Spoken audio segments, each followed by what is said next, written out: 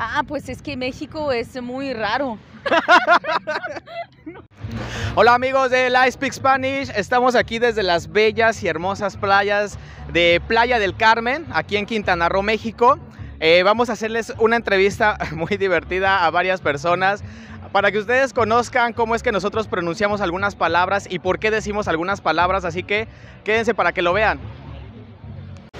Hola, estamos con Hugo. y Carla. Mónica. Mónica. Evelina Barca. ¿Y? Argelia. Celine Forgiani. Cel- Celine, ¿qué? Forgiani. ¿Eres de Francia. Francia, eh, De París. de París? Ajá. ¿Qué tanto hablas español? ¿Qué porcentaje tienes de español? Ah, pues yo creo que mi español está en ah, un ah, 98. ¿Por qué? Porque no soy originaria de aquí.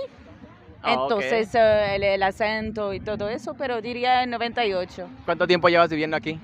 ¿Cuánto tiempo llevas viviendo aquí? ¿Cuánto tiempo llevas viviendo aquí? Significa cuánto tiempo has estado aquí. Eh, voy y vengo.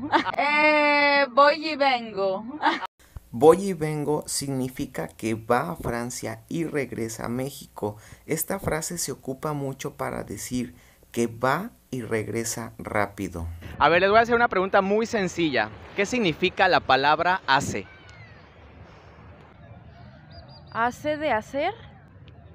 Hace, pues, hacer cosas.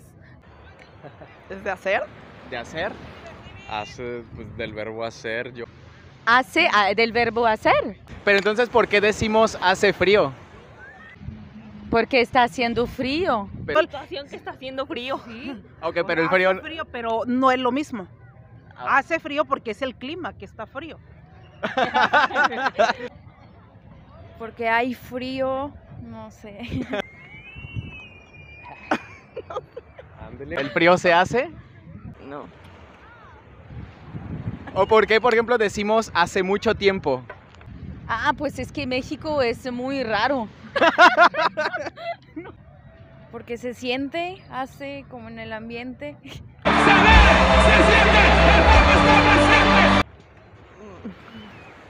A lo mejor- Ah, ya ve beaucoup de temps. Es que estoy pensando en francés y ah, ah, porque pues hace mucho tiempo.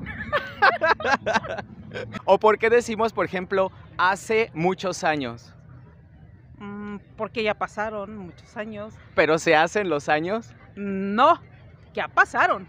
Ah, ok. O sea, no es lo mismo. Es verbo del hacer. Así hicimos, ¿no? Hacer, hicimos. Bueno, podría ser que en el pasado sí, hicimos sí. algo y por eso es que fue hace Sí, muchos hace años. muchos años, sí. ¿De dónde son? Yo de Chihuahua. ¿Y tú? Ciudad de México. Ciudad de México. Eh, De Guadalajara. ah, de Guadalajara. De Tasco, Guerrero. ¿De qué? Eh, bueno, no sé, dinos alguna frase típica francesa, o alguna palabra muy chihuahuense o frase que se escuche por allá. Pari- Bien mucho. Bien mucho. sí. ¿En qué momento ocupan eso? Como hace bien mucho frío. Wow, eso ni yo me lo esperaba. He ido varias veces a Guadalajara y no sabía que dijeran bien mucho. Sí. Chingada madre, pues el chile chilaca está 880. ¿Pero qué significa? ¿O cuándo la usas? Siempre que se puede, bueno, no mames. Sí. ¿Cuál? El sí va, Sí va. sí va. ¿Qué signi- Cualquier cosa, por ejemplo, si yo digo, ah, pues eh, sí, está bien, sí va. O sea, es como un, un este... Una afirmación, ¿no? No, muletilla. Una muletilla. Es una A muletilla. todo le agregas el va al Sí, final. Ajá, Ah, va. ok, ok. O no va, o sí va, pero para a veces confirmar algo. Eh, ah, no manches. eh, Allá sería más. eh, oh la la. Decimos mucho eso en París. Bueno, no sé si la utilizan aquí, pero en el norte dicen mucho guacha.